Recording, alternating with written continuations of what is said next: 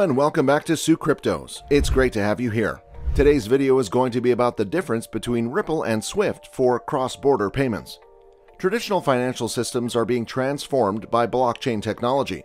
The cross-border money remittance sector is at a crossroads. The old SWIFT system is being challenged by new entrants such as the Ripple system, which is based on blockchain distributed ledger technology and has its own cryptocurrencies. This video does an analysis on both technologies to see whether blockchain technology has the capacity to disrupt the traditional sector and how this may be accomplished. Despite some small difficulties, we find that Ripple offers all of the advantages over Swift. Swift will continue to lead the remittance business in the immediate future because of economies of scale and the network established in the actual economic system. However, in the long run, new technologies like RippleNet will transform the remittance sector and potentially other financial institutions. Since the 1970s, people's methods of sending money from one nation to another have remained mostly unchanged. Despite the introduction of the internet and new digital technologies, moving money around the world remains difficult. There is no insight into what happens throughout the process. Settlements can take several days, and they are generally highly expensive. Let's see in the video the difference between Ripple and Swift for cross-border payment. But before that, don't forget to subscribe to the channel to never miss an update from us. Let's begin. Ripple, founded in San Francisco, envisions a world in which value may be sent as fast and inexpensively as information. They have a convincing case. $180 trillion in cross border payments are made each year at a cost of more than $1.7 trillion. SWIFT How cross border payments are made today. The SWIFT system, a financial messaging system that operates on a global network of thousands of institutions, enables banks to share information about financial transactions in a standardized manner. SWIFT, on the other hand, is only a financial information transmission mechanism that instructs one bank to debit one account and credit another. It does not move money. A connection between banks is required before they may undertake cross border transactions. Banks with direct links have accounts opened up with their overseas partner banks. These foreign accounts, known as Nostro Vostro accounts, are pre-funded with foreign currency in order to facilitate cross-border payments.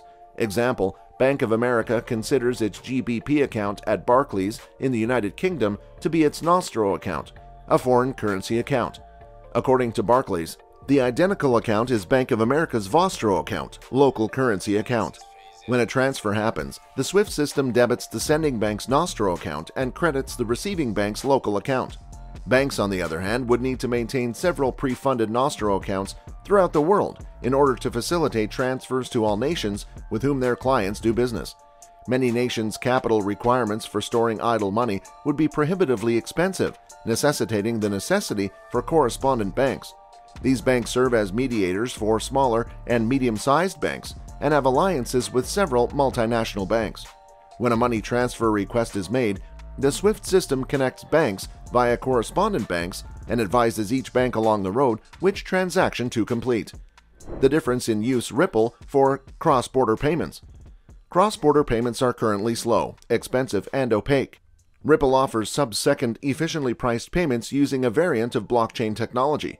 Speed is important in today's world. In the traditional institutional money transfer world, participants globally must interact with each other, essentially figuring out how to work with different systems that may or may not be easily compatible. With RippleNet, Ripple essentially created a global network that broadly abides by a given framework and group of parameters, making interactions among participants simpler, smoother, and more transparent, while decreasing costs and transaction times. Traditional centralized financial institutions can take days to complete transactions due to the different systems involved in the process. This can make the current landscape slow, error prone, costly, and can negatively impact the efficiency of a business transaction. Ripple cryptocurrency helps you avoid these issues with the help of RippleNet, which utilizes the On Demand Liquidity or ODL feature. The ODL feature takes away the need for any type of pre funding in case of cross border transactions. Imagine that one individual wants to make a cross border payment and has a different currency. For example, the receiving party in Sweden may not agree to receive Canadian dollars. In such cases, you can use Ripple XRP as the middle ground between the two distinct fiat currency types. How? Through the on-demand liquidity service. RippleNet leverages the digital asset XRP as a bridge between two currencies, allowing you to eliminate pre-funding of destination accounts reduce operational costs, and unlock capital. RippleNet customers can use XRP to bridge two currencies in as little as 3 seconds, ensuring payments are quickly sent and received in local currency on either side of a transaction.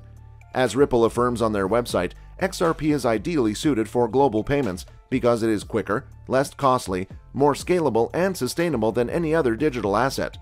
Which is more trusted? Some claim that SWIFT is a more trustworthy instrument than Ripple since the technology has been around for longer.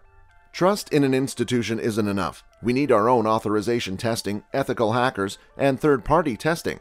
It's not only a matter of trust. SWIFT is significant since it is used by 11,000 banks. It is part of the global financial system in scale, and its political network is very strong. But this does not imply that it is a superior option because Ripple offers greater visibility and assurance regarding payments. According to Brad Garlinghouse, Ripple CEO, they have a few hundred customers of financial institutions across 55 plus countries worldwide. In addition, RippleNet's security capabilities are SOC 2 certified. System and Organization Controls 2 are a set of internal control reports which ensure service organizations have the appropriate processes in place for secure data management and processing. To conclude, in a rational world, because it is faster and cheaper and no more difficult to implement, I would expect Ripple to grow faster than Swift. Logically, regulators should prefer Ripple because near instant transfers vastly reduce liquidity and credit risks. But we do not live in a rational world, and Swift has the benefit of incumbency. Based on existing correspondent banking arrangements, Swift may seem less frightening to banks. According to the document The Cost Cutting Case for Banks, published on Ripple's website, Ripple presents a compelling long term value proposition for all financial institutions seeking global reach. As infrastructure technology, Ripple enables banks to transact instantly and directly with any other bank partner around the world, optionally sourcing liquidity from a competitive market of third party liquidity providers with end to end visibility and confirmation of funds delivery. Taken together, Ripple and XRP minimize settlement risk and eliminate the need for banks to collateralize Nostro accounts around the world, resulting in a lower total cost of settlement than ever before. The exciting potential of the new technology lies not just in the cost savings banks can extract from the old system, but the possibility to enable new models and businesses entirely. In the world of payments, a technology solution like Ripple and XRP that creates unprecedented cost efficiency and global reach makes use cases like global disbursements, international cash pooling, low value remittances, and even micropayments not just possible, but profitable. It's these new business models that will catalyze development of the Internet of Value. Thanks for watching the video, and if you made it this far, I hope you've learned something from it. Please subscribe to my channel for more videos. You can also check our Instagram profile or website in the description for more content like this. I'll see you next time. Bye bye.